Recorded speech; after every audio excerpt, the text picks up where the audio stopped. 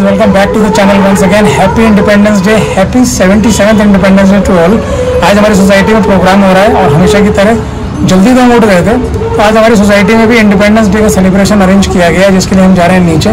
थोड़ा सा लेट हो गए हैं। पहले हमें जाना है मंदिर, उसके बाद हम जाएँगे प्रोग्राम में। फ्लैग होस्टिंग हो चुकी है बट बच्चों के बहुत सारे प्रोग्राम्स होने हैं जिसे हमें ज़रूर देखना है और ज़रूर जाके देखना है। तो चलते हैं नीचे और आपको दिखाते हैं हमारी सोसाइटी में किस तरह का प्रोग्राम होता है।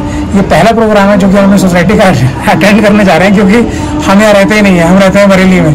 तो हम यहाँ तुरंत से आए हुए हैं। तो चलो, चलते हैं और दिखाते हैं आपको कैसी हमारी सोसाइटी और कैसे हमारी सोसाइटी का प्रोग्राम और अनु भी रेडी हो चुकी है, देखो। ओ, ये क्या क्या गया ओ, घड़ी। सैल्यूट मार दो, अनु सैल्यूट मार दो।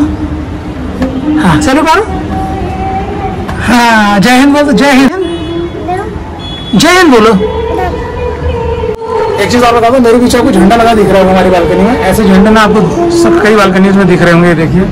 क्योंकि इस बार का इनिशिएटिव है घर घर तिरंगा घर घर तिरंगा। तो बहुत सारे घरों में तिरंगा लगा दिया गया है बहुत सारे घर ऐसे हैं जिन्होंने शायद तिरंगा कलेक्ट ही नहीं किया था।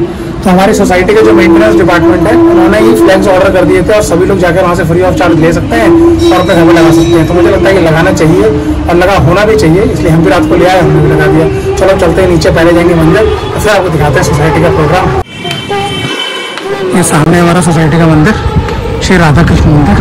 और अंदर से दिखाता हूँ देखना कितना सुंदर मंदिर है। अनु राधे राधे। ज़ोर से राधे राधे।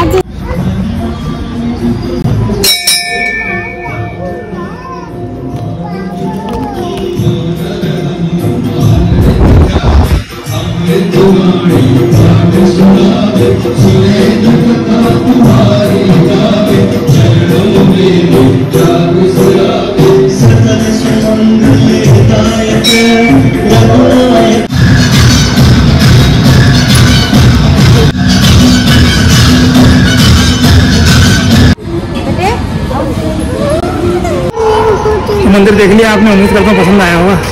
मनी मन में राधे राधे बोल दीजिए और कमेंट सेक्शन में राधे राधे लिख दीजिए। अब हम जा रहे हैं घर में थोड़ा सा करेंगे पेट पूजन और उसके बाद जाएँगे प्रोग्राम देखने के लिए। देखो लोग आ रहे हैं देख के।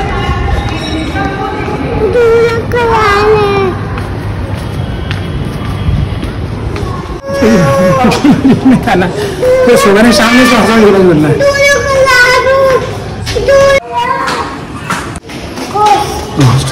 ये फ्लैट खाली पड़ा हुआ है बंद है। ये फ्लैट है ये बंद पड़ा हुआ है। अनुज देख। अनुज देख के कहती है इसमें घोस्ट है। क्या है अनुज में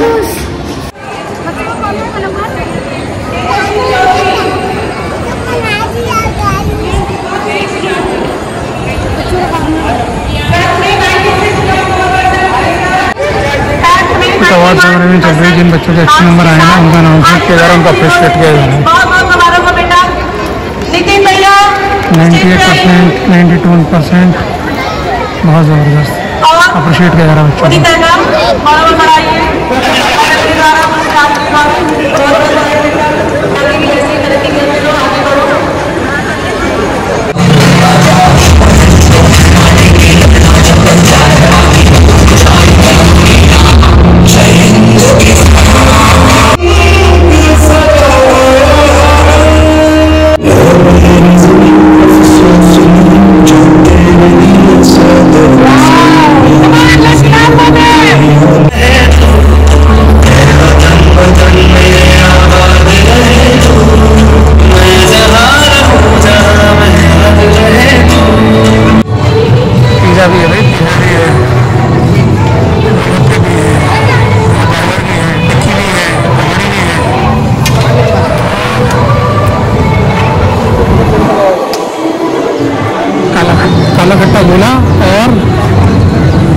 चाट भी है और कॉटन कैंडी भी है। पार्थ होता ना पार्थ को मज़े आ जाते पार्थ देख रहा होगा वीडियो पार्थ होता तो मज़े आ जाते पार्थ के।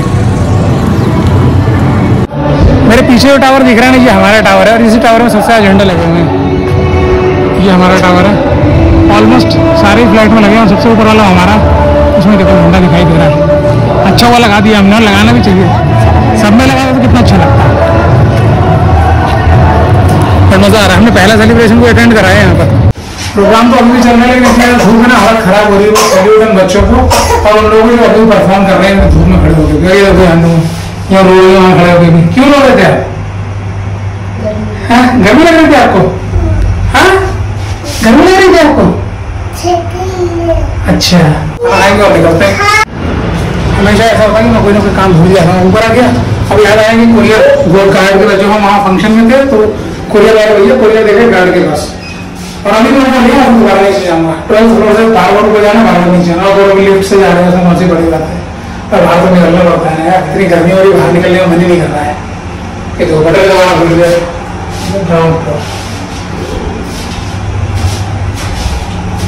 और ये तो मेरे पीछे को एडवर्टाइजमेंट दिखाई दे रहे हैं यहाँ पर। यहाँ की मेंटेनेंस ने इनोवेटिव तरीका निकाला है इसका टेंडर निकालते हैं और इसको एडवर्टाइजमेंट दे देते हैं। इससे मेंटेनेंस की कुछ ना कुछ अर्निंग होती है जिसको सोसाइटी के वेलफेयर पर खर्च कर सकते हैं। बहुत ही बढ़िया है अच्छा आइडिया है। ना नमस्कार भैया।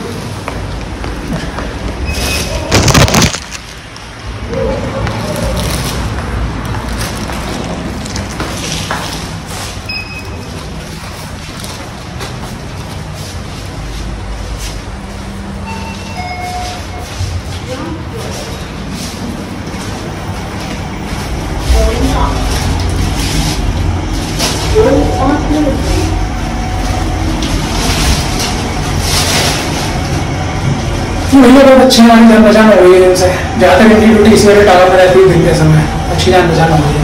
कोई भी परिवार में रहता है, ये रख लेते हैं। वैसे किसी को भी रखवा सकते हैं, कोई दिक्कत नहीं है। लेकिन थोड़ी जान पहचान हो गई है, बढ़िया है।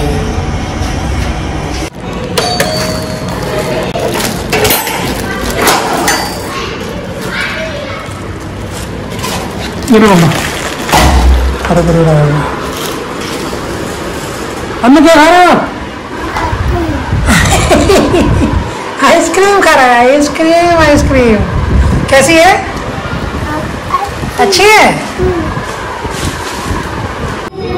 अब ये बहुत मस्त चीज़ दिखाता हूँ। मैं आपको बता रहा था ना कि मेंटेनेंस वालों ने झंडे दिए और कहा कि अपनी अपनी बालकनी में ज़रूर लगा दीजिएगा क्योंकि इस बार का इनिशिएटिव है कि हर घर तिरंगा।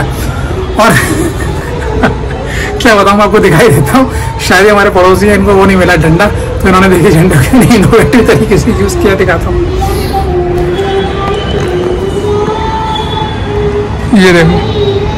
झंडा इन्होंने तार को सुखा दिया। झंडा इन्होंने तार को सुखा दिया बालकनी में। कहने के लिए तो झंडा लहरा ही दिया गया देखो। कितना सही से लहराया है। बालकनी में झंडा तो है ही।